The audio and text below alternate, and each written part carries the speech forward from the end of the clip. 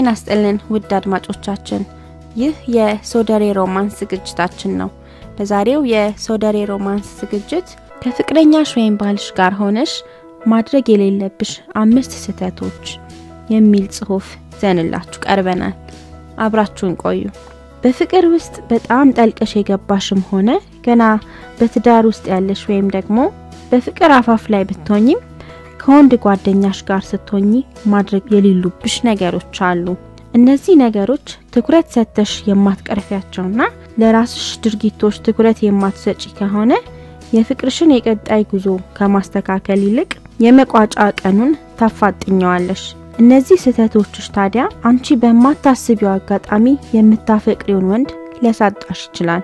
ይህ አጋጣሚ ታዲያ በተለይ ከወንድ ጓደኛሽ ጋር ጊዜሽን በምታሳልፊበት ወቅትና ፍቅርሽን እየገለጽሽ ባለሽበት ወቅት ሊንጸባረቁ የሚችሉ ናቸውና ጥንቃቄ ሊለይሽ አይገባም። ከእነዚህ ስህተቶች መካከል ወሳኝ የሆኑት አምስቱ የሚከተሉት ናቸው። ስህተት አንድ በጓደኛሽ ፊት በሌሎችም ዘንድ ተፈላጊ እንደሆንሽ ማሳየት። በየትኛውም ከፍቅረኛሽ ጋር በምታሳልፊያቸው ጊዜዎችሽ ራስሽን በጣም ከፍ ከፍ የምታደርጊና ብዙ ፈላጊ ወንዶች እንዳሉሽ የምታስቢና ይህንንም ሀሳብሽን በተለያዩ ድርጊቶችሽ የምታሳዩ ከሆነ በራስሽ ላይ ችግር ልትፈጥሪ ትችያለሽ። ይህም እሱን እያየሽ ወደ ሌሎች ወንዶች ሄደሽ እሱን ቅናት ውስጥ ለመክተት የሚያስፈልጉ ድርጊቶችን ልትፈጽሚ ትችያለሽ። ነገር ግን እሱ በአንቺ ድርጊት ቀንቶ አንቺን ብቻ እንዲል ከማድረግ ይልቅ ሌሎች አማራጮችን እንዲያይ እየገፋፋሹና መንገድ እየከፈትሽለት እንደሆነ ተረጂ። የራስሽን የተፈላጊነት ብቻ ማጉላት የምትፈልጊ ከሆነ ከወንዱ ፍቅረኛሽ የምታገኘው የፍቅር ምልክቶች በጣም ውስን ነው የሚሆኑብሽ። ስለዚህ ለእሱ አስፈልገዋለሁ ብቻ ሳይሆን ለእኔም ያስፈልገኛል ብለሽ ማሰብና የፍቅርን ቅብብሎሽ ልትተገብር ይገባል። ስህተት ሁለት ሌሎች ሴቶችን እያንቋሸሹ በእሱ ፊት መናገር። ከምትወጁ ፍቅረኛሽ ጋር ሆነሽ በመካከላችሁ ፍጹም ደስ የሚል ፍቅርን ለመመስረት የራሳችሁን ጨዋታና ንግግር መሰረት ልታደርጉ ይገባችኋል።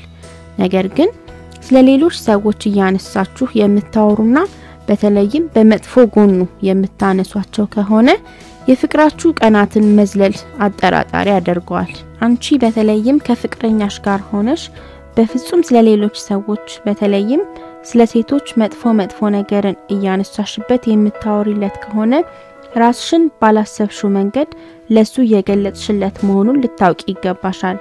በተለይም ሌሎች ሴቶችን ሰነፍ፣ አስቀያሚ፣ እብድ የመሳሰሉትን ጸያፍ ቃላት እያነሳሽ በመሳደብና በሱ ፊት የራስሽን ደረጃ ብቻ ከፍ ለማድረግ የምታስቢ ከሆነ እሱን ከማሰብ ይልቅ በአንቺ ለሌሎች ክብር አለመሰጠትና ጥሩ ያልሆነ ባህሪ የተነሳ እንዲርቅሽ ታደርጊዋለሽ።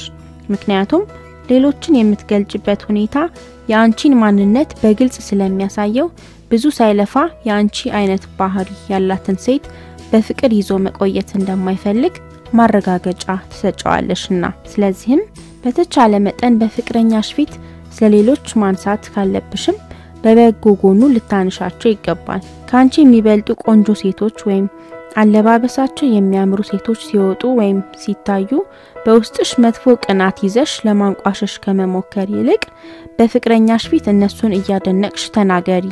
ይህን ስታደርጊ ሌላውን በማድነቅሽ ውስጥሽ ጥሩ አመለካከትና ነገም ራስሽን የተሻለ ቆንጆና ውብ አድርገሽ እንደምታቀርቢ ስለሚያስብ ከአንቺ አይርቅምና በሌሎች ሴቶች ላይ ያለሽ አመለካከት የተስተካከለ ሊሆን ይገባል። ስህተት ሶስት ሰዎች በተሰበሰቡበት መካከል በጣም የምትነካኪውና የምታሻሺው መሆንሽ። ፍቅረኛሽን መነካካትና ማሻሸት ፍቅርሽን የምትገልጭበት ነገር ቢሆንም በቦታውና በጊዜው እንዲሁም በተመጠነ መልኩ ሊሆን ይገባል። በሌሎች ዘንድ ለሱ የምትሰጪውን ፍቅር በሚታይ ነገር ብቻ ልክ የምትደልዩ አይነት መስለሽ ብዙ ጊዜ መነካካትና ማሻሸት የምታበዢ ከሆነ ከውጪ ያንቺን የፍቅር መልእክት ከመቀበል ይልቅ ሊያናድደውና ወደ መጥፎ ቁጣ ውስጥ ሊያስገባው ይችላል። ይህ ድርጊትሽ በተለይም ሕዝብ በተሰበሰበበትና ብዙ ሰዎች ባሉበት ወይም ለብዙ ሰዎች ንግግር እያደረገ ባለበት ወቅት ከሆነ የሁለታችሁ ግንኙነት በሌላ መልኩ ሰዎች ይተረጉሙታል ብሎ ስለሚያስብ በድርጊትሽ ሊናደድብሽ ይችላል።